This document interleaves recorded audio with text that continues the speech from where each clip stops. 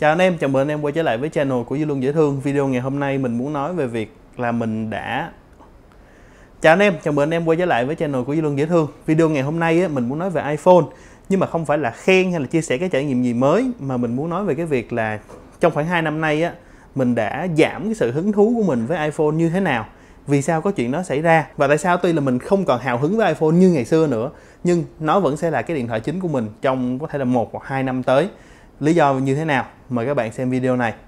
Rồi trước tiên á mình muốn nói là cái sự hứng thú của mình đối với Apple hay là về cái sự kiện ngày 14 tháng 9 sắp tới họ sắp làm đó thì gần như là nó không có giảm. À, mình rất là thích cách mà Apple làm sự kiện. Mình có thể coi được rất là đã mắt nghe rất là đã tai và cái thông điệp mà họ truyền rất là hay. À, nếu mà bạn nào muốn cải thiện khả năng thuyết trình mình khuyên các bạn nên xem những cái event của Apple cực kỳ hay và các bạn sẽ học được cái cách thuyết trình đó tuy nhiên riêng đối với lại iPhone ha Mac này nọ thì không tính. Riêng đối với lại iPhone thì mình không còn hứng thú với nó như ngày xưa nữa. Cái thời mà ví dụ như 2017 lúc mà iPhone X mới ra đời thì lúc mà mình cầm con iPhone X trời ơi nó vui nó đã. Hay là như hai năm ờ, mình không nhớ là 2012 hay 2013 gì đó lúc mà mình ờ, coi cái sự kiện iPhone 5 cũng rất là thích thú.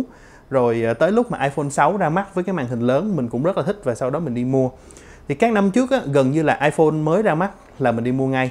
À, có những con mà mình mua rất là sớm ở thời điểm mà mới về Việt Nam mới về Việt Nam là mình mua ngay luôn. Ví dụ như con iPhone 11 Pro Max này ngay cái ngày đầu tiên mở bán ra về Việt Nam một cái là mình mua ngay lập tức. Nhưng mà từ năm ngoái tới năm nay ví dụ như là iPhone 12 đi thì mình cũng có cầm mình cũng được cho mượn mình chia sẻ với các bạn. Nhưng mà cái sự hào hứng của mình đối với iPhone 12 nó không giống như là ờ, cái những cái thời trước đó nữa hay là thậm chí không giống với lại cái cách mà mình thích thú với con iPhone 11 Pro Max luôn bởi vì nó không có nhiều điểm cải tiến như là những cái đời trước đó và những cái cải tiến của Apple á, nó là những cái cải tiến nhỏ. Nó là những cải tiến tốt nha chỉ là nó nhỏ thôi. Và với một người có thể là bởi vì mình đã trải nghiệm quá nhiều điện thoại hoặc là mình đang kỳ vọng nhiều hơn mình cũng không chắc lắm. Nhưng mà đối với lại iPhone thì mình không còn cảm thấy háo hức như là ngày xưa nữa tất nhiên là có thể iPhone 13 mình vẫn sẽ mua hoặc là mình vẫn sẽ mượn về để mà mình trải nghiệm cho các bạn xem có cái gì hay ờ, nó có cái gì mới đồng ý là iPhone 13 thì vẫn chưa ra mắt À, có thể chúng ta sẽ có được những cái thứ mới mà mình nghe đồn được ví dụ như là tai thỏ nhỏ hơn cải tiến về camera cải tiến về chip này nọ thì đương nhiên là có rồi Tuy nhiên liệu những cái thứ đó đã đủ để mình nâng cấp từ iPhone 11 Pro Max lên iPhone 13 ở vai trò của một người dùng bình thường hay không? Mình không chắc lắm. Với tất cả những gì mà iPhone đang làm thì mình thấy là iPhone đang chọn cách chơi khá là an toàn. À, chúng ta không thấy được những cái điểm mà gọi là đột phá hay là mới mẻ. Mình ví dụ như lúc mà mình xài con Galaxy Z Fold 3 mình rất là thích rất là hào hứng luôn bởi vì nó đem lại cho mình những cái trải nghiệm rất là khác rất là mới mẻ so với lại iPhone. Tất nhiên là mình sẽ không xếp Z Fold 3 chung hàng với lại iPhone bởi vì hai tụi nó là hai cái cái cái mảng thiết bị nó khác nhau lắm các bạn nó rất là khác. Và Z Fold 3 thì chắc chắn vẫn sẽ không bán chạy như là iPhone rồi thì đương nhiên à, giá cao hơn là một chuyện mặc dù năm nay đã giảm giá nhưng mà vẫn cao cho nên á, ở trong một số cái video cả ở trên tinh tế trên youtube cũng như là ở trên tiktok của mình thì mình có nói với các bạn là nếu như mà bạn muốn một cái gì đó mới mẻ hơn bạn đang xài iphone bạn chán rồi thử đổi qua galaxy z fold 3 coi như thế nào. Tuy là sự hào hứng với iphone của mình đã bị giảm đi rồi nhưng khoảng một hoặc hai năm tới mình vẫn thấy iPhone là cái điện thoại chính của mình chứ không phải là một cái điện thoại Android. Có thể mình sẽ mua một cái điện thoại hoặc là mình mượn một cái điện thoại Android có thể là mình sẽ được xài trong một thời gian rất là lâu. Nhưng mà điện thoại chính của mình thì mình vẫn muốn nó là một con iPhone bởi vì lý do quan trọng là iOS, mình thích cách mà iOS đưa cho mình cái thông báo, mình thích cách mà iOS tối ưu cái bàn phím cho từng kích thước màn hình một. Các hãng làm điện thoại Android rất ít khi mà họ làm cái chuyện này nha. Có đó, một số con, ví dụ như là Pixel nè, hoặc là Galaxy Z Fold 3 vừa rồi cũng ok nè. Hay là Bphone chẳng hạn, thì họ họ có tối ưu, nhưng mà đa số các hãng còn lại, kể cả những con flagship, thì cái trải nghiệm gõ bàn phím rất là chán, mình vẫn không thấy hài lòng được. Mặc dù có thể mình dùng cả một, hai tuần để làm quen, nhưng mà nó vẫn không sướng trong khi đó đối với lại iPhone thì Apple họ tối ưu cái bàn phím ảo á, cực kỳ ngon lành luôn các bạn. Một cái điểm nữa mà mình thích ở trên iPhone là Face ID mình biết là ý kiến này nó mix dữ lắm có bạn không thích có bạn thích. Mình thì mình thích thôi.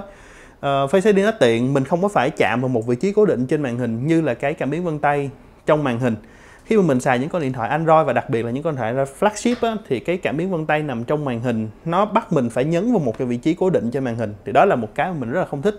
Thà như là cảm biến vân tay ngày xưa đi có thể là bạn khoét một cái lỗ thì thì lúc bạn rờ vô thì nó cũng dễ. Còn mình chạm vào cái cảm biến vân tay trên màn hình thì nó hay bị hụt lắm. Sau một thời gian thì cũng quen thôi nhưng mà cơ bản là mình không thích thôi. Ờ, nếu như mà một hãng nào đó mình trước đây mình thấy có Qualcomm bắt đầu làm rồi tức là họ sẽ dùng nửa cái cái cái khu vực này luôn tức là họ dùng một mảng lớn này luôn để nhận vân tay thì ok. Lúc đó có thể là mình sẽ thích cái vân tay trong màn hình. Và có khi lúc đó ha, nó sẽ tiện hơn Face ID nhưng mà tính đến thời điểm hiện tại thì mình vẫn đánh giá Face ID cao hơn những cái giải pháp về vân tay trong màn hình đang được sử dụng trên những con điện thoại Android. Và đương nhiên là mình cũng thích iPhone ở cái chỗ là nó quay và chụp hình rất là ổn định tạo nội dung xong là mình có thể xài luôn. Mình rất là ít khi phải edit về màu sắc về ánh sáng hiếm lắm các bạn. À, có thể là mình lên edit để mình cắt ghép video thôi nhưng ít khi mà mình can thiệp vào cái màu sắc hay là những cái yếu tố về ánh sáng về cân bằng trắng này nọ. Mình xài iPhone để quay phim rất nhiều rất nhiều video trên YouTube của mình là quay bằng iPhone.